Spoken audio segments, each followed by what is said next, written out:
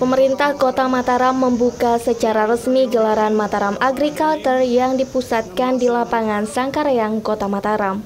Pembukaan kegiatan ini ditandai dengan penabuhan gendang bele yang dilakukan oleh Wali Kota Mataram dan Ketua Dewan Perwakilan Rakyat Daerah DPRD Kota Mataram di hadapan seluruh peserta dan pengunjung pameran yang turut hadir.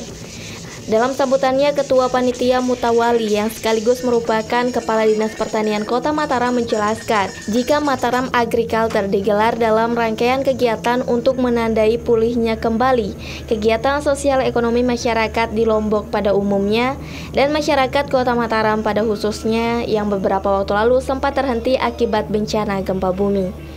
Mutawali mengungkapkan dengan digelarnya kegiatan tersebut diharapkan dapat mewujudkan slogan Mataram Move On, Lombok Bangkit dan NTB Bangkit Kembali. Di samping tujuan awalnya yang memang untuk memberi ruang kepada masyarakat untuk menata kembali kehidupan sosial ekonomi, khususnya bagi petani, peternak, dan sejumlah pegiat komunitas agrikultur dan sejenisnya untuk mengembangkan potensi di Mataram guna meningkatkan investasi di kota Mataram dan pasar-pasar agribisnis lain.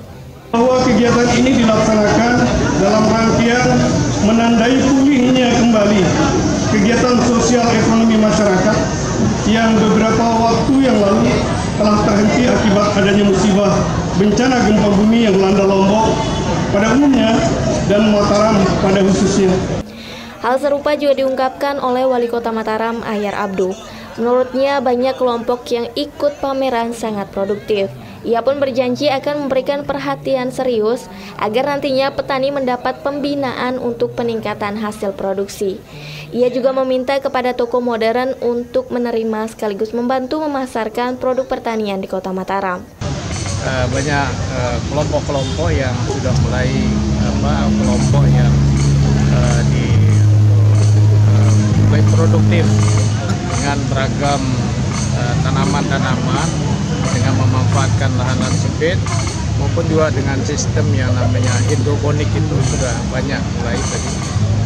Lebih lanjut diketahui Mataram Agriculture akan berlangsung hingga 9 Oktober esok dengan menghadirkan 45 stand dari berbagai sektor seperti pertanian, peternakan, hortikultura, dan masih banyak lagi. Dari Mataram, Nusa Tenggara Barat, Elsa Menora Anggi, Cat TV.